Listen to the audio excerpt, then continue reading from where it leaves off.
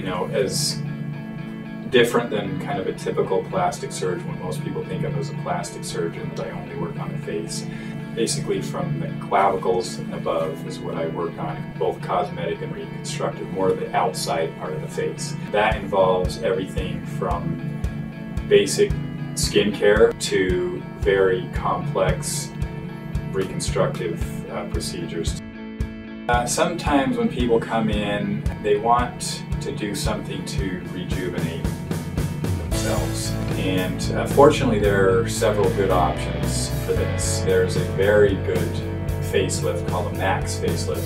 This office-based facelift um, is different because it addresses more than just the skin.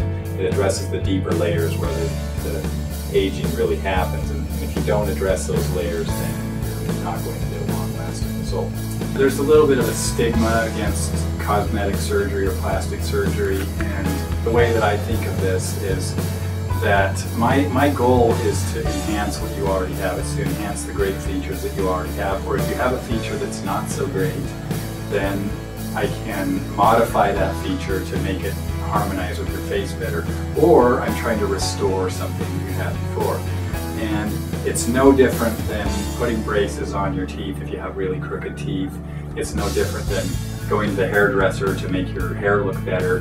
Those are all things that we do to increase partially the, the perception that we give to others and also the way that we feel about ourselves. The, what we look in the mirror and see is who we are and if you feel good about who that person is, then it makes your whole life more positive